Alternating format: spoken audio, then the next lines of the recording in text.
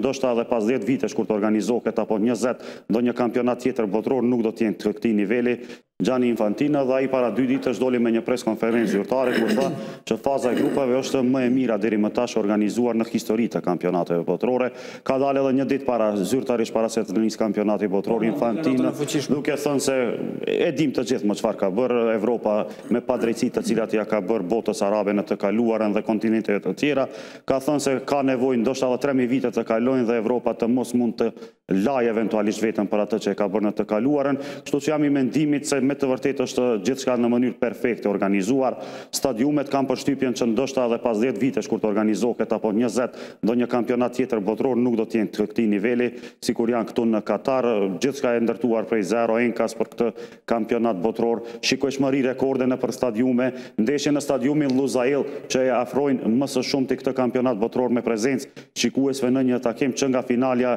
historike Itali, Brazil nga viti një mijë e nëntëqind e nëntëdhjetë e katër,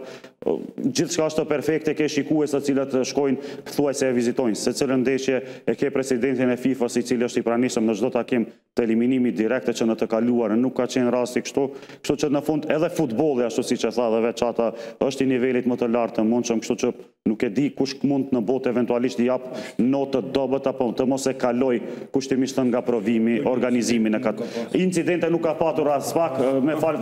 falë faktit që është i ndaluar alkooli, alkooli është i ndaluar brenda stadiumit, jashta stadiumit janë të lejuara, kishte thënë edhe Gianni Infantino në fillim të kampionatit botëror, Se tre orë çdokush mund të durojë pa pirë alkool apo dhe nuk e di, edhe pa ngrënë edhe pa gjithçka të mundshme, kështu që organizimi është me të vërtetë perfekt dhe ndoshta më e mira e të gjithë kësaj është që e tha Veçata akoma nuk kemi informuar asnjëherë për ndonjë incident e dimë të gjithë në të kaluarën se çfarë incidente kanë ndodhur në ndeshje të këtilla të kampionatit botëror, kështu që shpresojmë dhe jam i bindur që do të vazhdojë kështu pasi nuk kanë mbetur më edhe shumë ndeshje.